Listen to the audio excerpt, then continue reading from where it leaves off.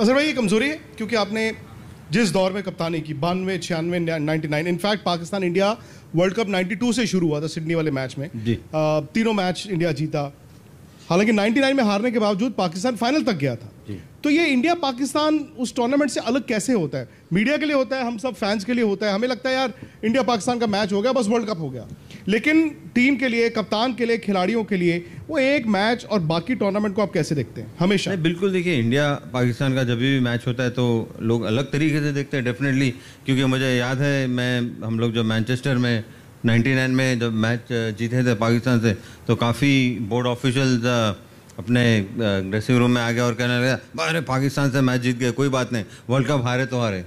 तो ये एटीट्यूड मेरे ख्याल में बोर्ड का था। तो हमारा एटीट्यूड ऐसा नहीं होता क्योंकि प्लेयर चाहता है कि हर हर मैच में जीते, क्योंकि जीतना बहुत इंपॉर्टेंट होता है, चाहे वो पाकिस्तान जीते या इंडिया जीते। मैं आई मीन फॉर्चुनेटली हम इंडिया से खेले आई मीन वर्ल्ड कप में जितने भी मैचेस खेले, मैं खेला। तो जब हम लोग जीते तो प्रेशर तो प्लेयर्स के ऊपर होता ही है। जैसा कि सनी भाई ने कहा कि बहुत से अभी लाइक जो केयरलेस होता है तो बहुत बहुत इंपॉर्टेंट शब्द यूज़ किया उन्होंने। क्योंकि जब आदमी जब उसको पता चलता है कि अगर मैं यहाँ नहीं खेलूँ तो मैं यहाँ तो खेल सकता हूँ। तो डेफिनेटली वो केयरलेस हो जाता है, क्योंकि मुझे आज यहाँ मौका नहीं मिला, कल तो यहाँ मौका मिलेगा, क्योंकि प्रैक्टिस भी उसमें बहुत कम कर देते हैं, क्योंकि उनको पता है कि ज़्यादा प्रैक्टिस भी नहीं, क्योंकि प्रैक्टिस करना बहुत इंपॉर्टेंट है। अगर प्रैक्टिस आप नहीं करेंगे तो आप मैच में आप कभी भी अच्छा नहीं खेल सकते, क्योंकि मुझे सनी भाई शायद एक एग्जांपल दूँगा, आपको मेरे ख्याल में याद है या नहीं है कि मैं, हम लोग एक एनेक्डोट है, जब सही, बिल्कुल जो मेरे साथ हुआ जब सनी भाई अमूमन पहले बैटिंग करते थे नेट्स में, बहुत कम बैटिंग करते थे, नेट्स में ज़्यादा बैटिंग ही नहीं करते थे, क्योंकि बीच में ही बैटिंग करते थे।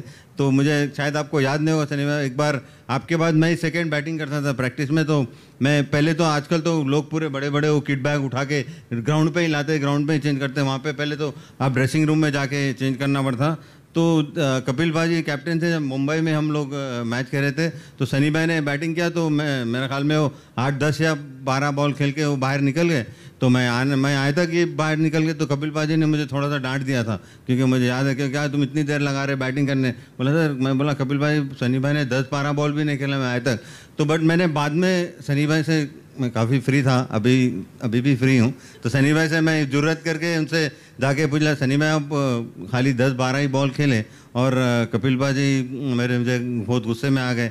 आप बोलते हो आप क्यों हम बारह बॉल खेल के नहीं तो सनी भाई का आंसर ये था कि मैं जितने भी बॉल खेला, वो मिडिल में खेला। तो अब तुम क्या चाहोगे कि मैं एज से खेलूँ बैटिंग, नेट्स में? तो ये एग्ज़ाम्पल बिल्कुल आपको याद नहीं होगा तनवे बिल्कुल ये सही हुआ। है तो जो बात कर रहे हैं, बिल्कुल ये बहुत इंपॉर्टेंट बातें होती जब आप बड़े बैट्समैन जब भी होते तब आप मैच निकाल के ले जाते हैं।